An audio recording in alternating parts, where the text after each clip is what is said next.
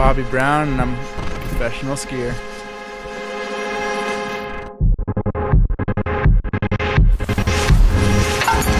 At the top, I was like, ah, I might do it, I might not. And then halfway in the inner, and I'm like, oh, whatever, I'm going for it. And then I felt a huge rush of wind from the heli, and I was like, oh man, it's right next to me.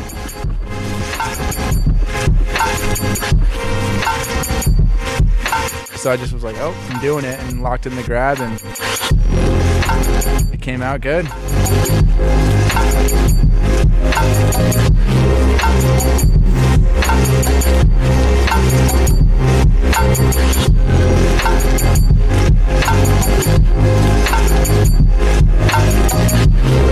I'm out here, you know, doing this because just get the craziest rush of adrenaline and always having a good time. Always good friends, always good people.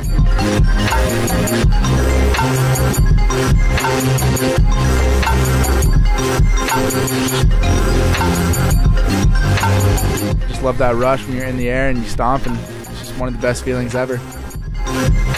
I'm Bobby Brown, and that was a triple cork 1440.